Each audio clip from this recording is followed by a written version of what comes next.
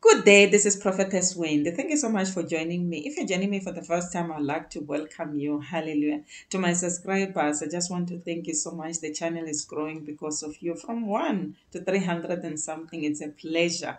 It's an honor. Hallelujah. We are highly favored in this channel. If you're watching me for the first time, I just want to welcome you. This is the true prophet of the Lord. Amen. Today we're discussing one of the most important topic in our lives. Amen. Because what I'll be talking about, I'll also share my testimony. The title says, People can go to witch doctors in your name. Hallelujah. People can go to witch doctors in your name. Hallelujah. And how do I know this? I remember there was a particular time when I first got married married, you know, I was under a lot of attacks I remember my bishop from at home, uh, Bishop Matebula, calling me to say that, you know what, I see a lot of demonic attacks around your life. Amen. You need to pray. You need to pull up your socks. You know, when you get married, you get excited. Amen. You even put the Bible away. Hallelujah. Sometimes you find that your graph is down. Amen. When people go to the witch doctor, it's not because your graph is down. Hallelujah. But I just want to clarify there to say that with me, it's because I was so excited. I was still on a honeymoon phase. Amen. You know, know, when you are still excited, you want to enjoy your marriage, you are happy. But after some time, when I first got married, you know, my drop did drop a little bit because I was no longer meditating on the weight I was meditating on my wedding. I was meditating on my husband, you know, looking forward to the future. And I was under a lot of attacks. I mean, while I was still under a lot of attacks, I remember in my sleep, that is when I knew that I was under attack. There was this old man, old man, you know, an old man, but I could not see the face. Once you cannot see the face, you know for sure this is purely witchcraft. Amen. So when I saw that man the first time, I asked myself, what does this man want to do? I was sleeping, but I could see in the spirit. Remember, for us who are born again, we can see physically, we can also see in the spirit. So when that man was busy coming to my room, I could see, and the man was naked, was not wearing anything, but it could not show me his face, you know.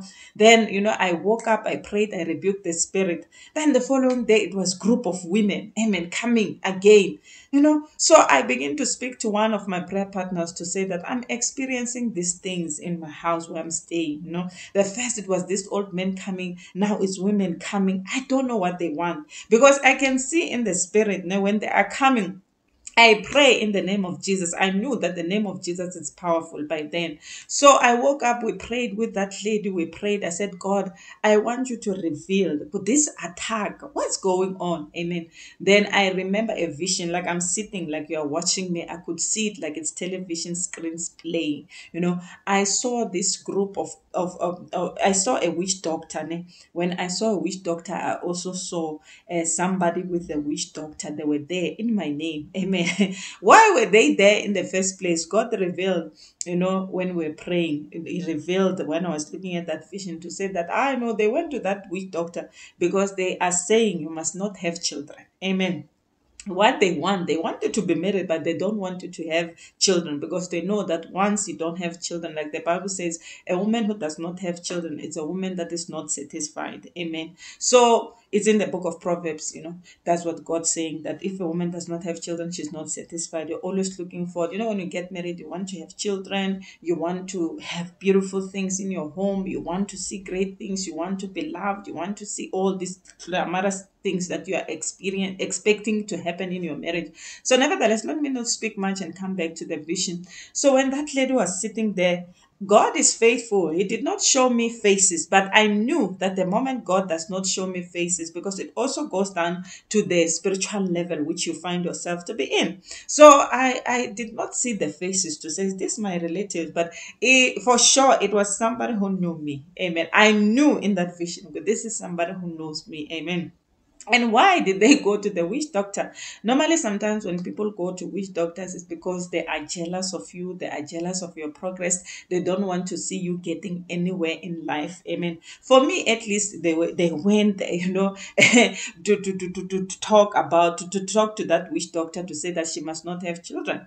Then when I woke up, you know, when I woke up from that vision, I was like, God, even though I could see it live, live when they were sitting, and also the bones, I could see them. Also, the witch doctor, I could see them. Also, their request, I could see what they were requesting. So, what I'm speaking about, I'm not speaking about theory or things that I don't know. It is the truth. There are people who do go to witch doctors in your name. So, am I trying to scare you in saying all of these things? No, they go in different ways. I want to share a testimony of my colleague she came to me, you know, she's coming from a wealthy family, but she says that, you know what, it's hard for me to get married. And then another pastor revealed to her to say that when you were young, somebody took part of your clothing. Can you imagine when you were young? Not me who was just getting married and somebody going to a witch doctor that I can be able to stand up for myself and pray in the gap. So this one, she says that she grew up in a family where they have got everything and she's the only child. Then she says to me, Prophetess, I want you to pray for me because what has been revealed there is that somebody took part of my clothing, you know, you know, you know, the groans or whatever or t-shirt. I don't know what they said they took. I don't want to lie. But she said they took something. Her outfits, one of her outfits was taken. But the mother did not realize that something was taken from the home. And they took that thing straight to the witch doctor to say that, you know what, this lady must never get married. At least for me, I was married. But after getting married, they were saying, what? You must never have children. So what am I saying? They can go to a witch doctor to say that you must not pass. Amen. I remember in another vision that I want to share, it was my mom. Amen. God revealed to me that somebody is going to go and give her 300 rand. 300 rand. That 300 rand, they went to the witch doctor to do something with that 300 rand. Amen. So that whenever she receives money, money does not stay. money runs out of the door. You know, you get paid today, but all of a sudden you don't even know where your money went. Amen. You're like, no, I just got paid, but there are a lot of things that come in to chow your mind. Good, your money is directed not to you, but to things that that chows your mind. You see, now you're not progressing. Why? Because your mind is going to another direction. So it was the same situation. So I called my mom. I was like, you know what? God revealed something to me. I'm a prophet. Remember, this is prophetess Wendy speaking. So I called my mom. I'm like, she knows that I'm a prophet. She's also a prophet and intercessor. So when I called her, I said, Mom, I saw something. She was like, What is it? I said, I saw somebody coming to give you 300. She said, Ah, they've already came to give me the 300 rand. But just because she has a descending spirit, she said, I fear not. Amen. The Bible says, Even if we walk through the shadow of death, we shall fear no evil. Sometimes they can take your items to go to a witch doctor to give them to work on it and return it back to you. Sometimes they can take something like a gift, like I share in one of the videos to say that, you know what, somebody gave my mom a bag, you know, a bag. It was a nice, beautiful bag. Back in the olden days, my mom says, you know what, I could not sleep. I could not sleep until the Holy Spirit began to reveal. So, what am I saying? If you are watching me and you see that, you know what, most of my things are being delayed in life, you know, I can't have children. There is a reason. The Bible says Hannah was kept childless by the Lord. Amen. but in my case, it was not the Lord. It was people who were deciding on my behalf to say that in that marriage, she's not going to behave she's not going to have children but by the grace of the Lord, I remember telling the pastor, Pastor Given, to say that I saw this vision. You know, we prayed together. I was like, we need to fast and pray about this thing. Amen. Remember, I got married young. I stayed long before I could have children. But nevertheless, I was not challenged. But I did have my own children at the age of 23. So what do I, I got married at the age of 21, somewhere there. So So what am I saying? Sometimes when God appear to you and reveal things to you, it's not for you to fight with people or to post on your status to say that you can't, you can't, you can't defeat me. Hallelujah. Eh, eh.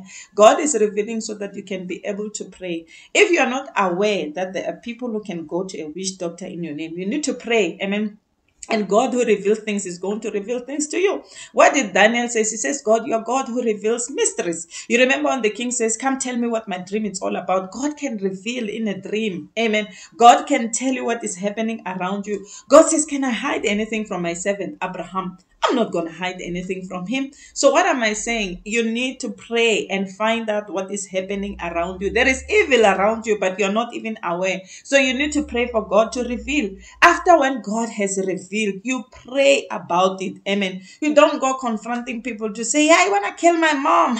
I saw the 300 that you wanted to give her. You witches. Amen. No, no, no. It doesn't work like that because we are not wrestling against flesh and blood. And the Bible does confirm to say that the battle is not yours. But I wanted to confirm that people can go to a witch doctor in your name. You apply, you don't get a job. Why? Because somebody has cast out a spell to say that you never get a job. Amen. You want to buy a car, all you you you hear rejected. You know your application unsuccessful.